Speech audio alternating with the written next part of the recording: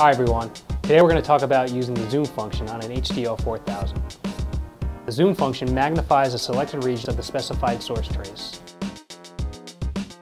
To turn on a quick zoom, touch the zoom front panel control button. Once activated, you can adjust the scale of the zoom using the horizontal and vertical front panel controls, or by modifying the settings in the zoom dialog. A zoom can also be turned on directly from a trace dialog. To do this, touch the descriptor box of the desired source trace.